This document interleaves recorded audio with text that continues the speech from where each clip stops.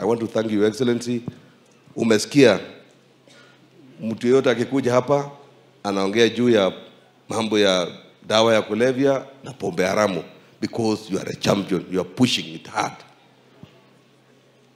Ukisikia watu hapa kila saa wanasema ile mambo unayosema kila siku, kwa sababu your excellency umekaribia watu na watu wanakusikiza.